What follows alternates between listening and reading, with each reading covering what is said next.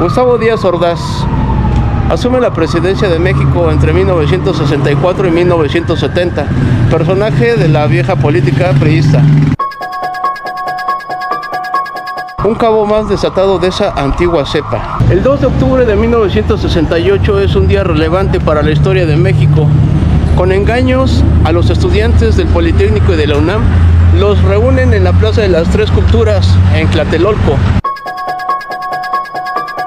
Y por ende, Gustavo Díaz Ordaz da la orden para que se desatara la mayor masacre en la historia de México.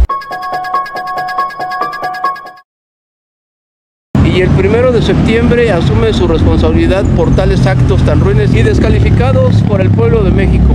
Datos relevantes y perturbadores de Gustavo Díaz Ordaz.